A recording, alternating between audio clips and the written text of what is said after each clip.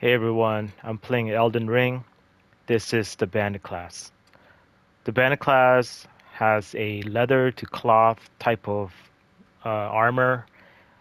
It's uh, pretty lightweight, very quick. It's very good for dodging enemies. Alright, let's go outside and I'll show you guys its skills.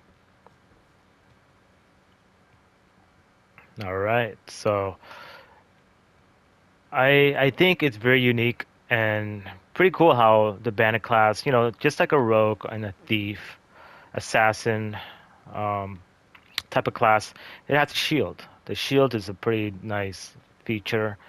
Um, you can block, you can parry, shield bash, and you can also um, put it away, and you have a bow and arrow. And then bow and arrow, if you press L1, uh, you go into first person uh, screen, and then yeah, you just kind of aim and shoot. L2 is the third person view, and then yeah, aim and shoot. Alright, so with the dagger in hand, let's do R1, the quick attack.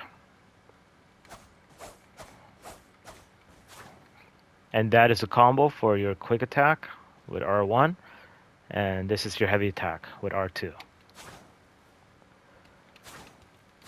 And that's a combo for the heavy attack with R2. I I think it's a really um, versatile class because it's very quick. You know, you you can dodge your enemies very nicely, and also this class also can do blocking and shield bash. So it's pretty, uh, in my opinion, it's very easy to play with um, once you have a shield, and especially if you're quick.